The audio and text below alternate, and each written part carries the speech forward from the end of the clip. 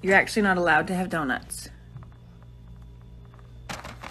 No, you're not allowed to have donuts.